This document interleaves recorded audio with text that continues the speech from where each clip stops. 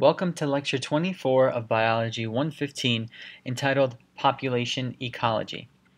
As we move forward and sort of close out Biology 115, we're going to be looking at a lot of ecological concepts and ideas, and we're going to begin our true study of ecology by understanding ecology from the population perspective. And before we go any further, we're going to begin this study by understanding a basic introduction of the ideas behind population ecology. So we're going to entitle this first flowchart Introduction.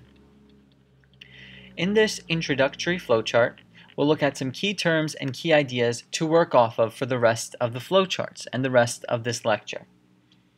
When we think of ecology, this is our first formal lesson, first formal lecture on the term ecology and on the topic of ecology, we have to understand that ecology defines as the following. Ecology is the study of interactions. That's the big idea here. Study of interactions. That's our key word when we think of ecology. And specifically, we have to mention who the interactions are between.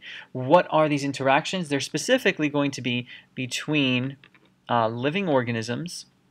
So we'll say living organisms, ORGS for organisms, and also, we cannot forget that ecology is going to be our first sort of part of biology 115 that's going to actually also include the interactions with the physical environment. And we're going to be seeing this much throughout uh, the next couple of lectures on ecology.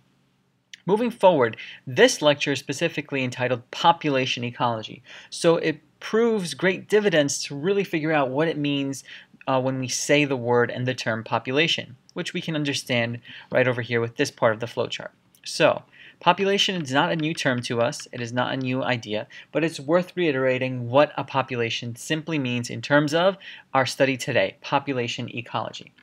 This is going to be considered the following. We can broadly define a population as a group of, and I will say potentially, so we're going to say potentially in quotes or in parentheses, because we know this doesn't always happen and we just hope that it does, a group of potentially sexually interbreeding organisms, so that's a key component to a population, they have to be sexually interbreeding, they have to be able to mate with each other, group of sexually interbreeding organisms of the same species, of the same species, and I'm going to write SP for species.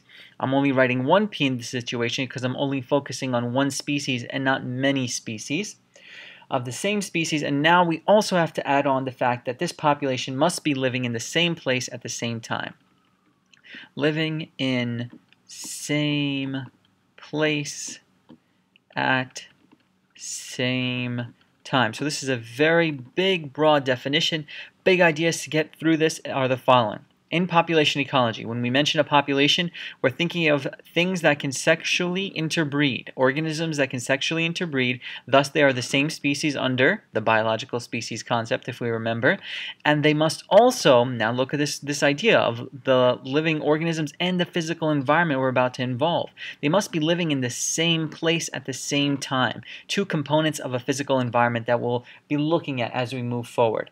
In addition, because these organisms are sexually interbreeding at the same place at the same time, they're going to be sharing what we already have termed a common gene pool. Share a common gene pool. And this is going to be uh, uh, just a collection of genes that natural selection can work off of. And what natural selection will do is it will notice these genes, it will notice the fact that there's a common gene pool amongst this species, and we will have changes. Those changes will occur at the allele level. The allele frequency changes will be specifically due to natural selection due to NS, natural selection. Now I know we mentioned before in a previous lecture that allele frequencies don't change, but that is only true, and that was in our microevolution lecture, if there is no evolution acting upon the population, if the population is rather stable. But if we do have a free-flowing, interacting population, interacting with the environment, interacting with other living organisms, of course natural selection will be involved. Of course evolution will be involved. And thus, we have to make sure we understand that allele frequencies will change for the first time in our study of evolution uh, directly, specifically in a population ecology level. And finally, last thing about population we should understand is that in this uh, population, we're going to have the following. Individuals with populations, okay, the individuals within populations. Now, this is where we get a lot of interactions. Remember, it's all about interactions in ecology.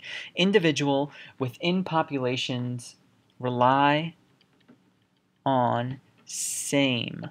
This is a big idea here. Same resources, same resources. So there are these resources in this physical environment that all of these individuals within this population, individuals, put an S there, have to rely on. And also because they live in the same place at the same time, not only do they have to fight for the same resources, but they are also going to be influenced, all of these population, this population will be influenced by the same what we would consider environmental factors. And we're going to get into those environmental factors as we move forward with this lecture. So look at this idea.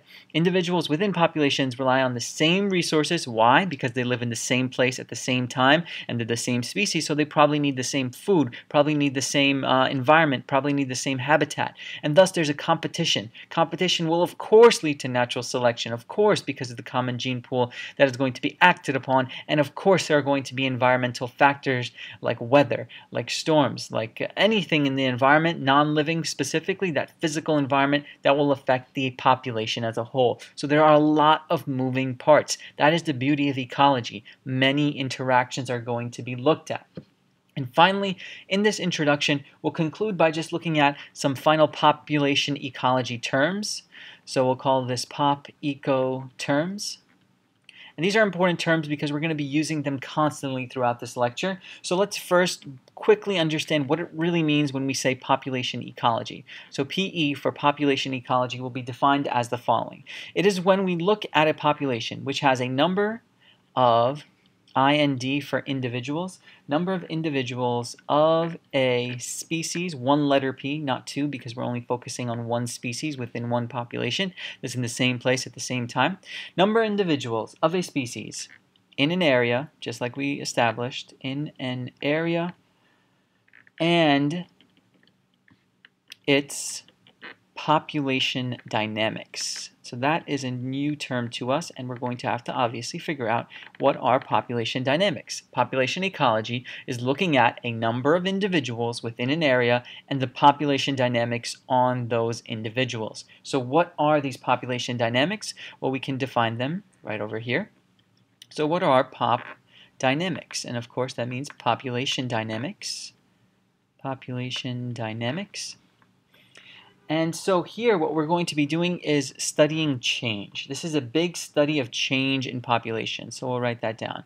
Study of change. I'm going to write that in capital letters because that's the key here. Study of change in populations. That's what population dynamics is all about. This is this change we're going to be looking at in our next flowchart. But for right now, what we want to focus on is that as a population ecologist, we want to figure out the change that is going on in this area at the same time between these sexually interbreeding, interbreeding organisms. And so that change is going to happen. And that change is going to happen for many different reasons. And our job as a population ecologist is to look at how that change happens and also why that change happens. So we're saying the study of change is basically figuring out how that change happens and why it happens. And then because we look at a population as a whole now, as an interacting whole, we're going to be determining the common processes that result out of this. Determine common processes.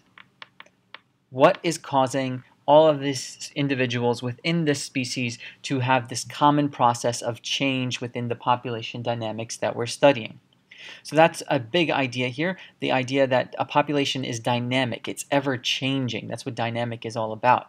Um, so we can move further with these pop eco terms by also understanding what it means when we say population size. I know that might be very obvious, and it really is. Population uh, size is simply the number of individuals and when we say individuals, we mean one member of this species um, a number of individuals in the group at hand, let's say. I'll say in the group, just not, I don't want to say population and when defining population size, but we'll just say group for this situation. You get the idea, population size. And finally, last term, another term that we'll look at a lot later um, in this lecture, but also cover, is population density. This is something that's very, very important when studying these interactions, especially in population ecology. Population density is defined as the following. It's the number of individuals of a particular species, number of individuals, IND for individuals, of particular particular species, one letter P, why one? Because we're only focusing on one particular species. Um, per unit area, this is where we get a little bit fancy with our mathematical terms. Per unit area or even per unit volume, VOL for volume, at a given time.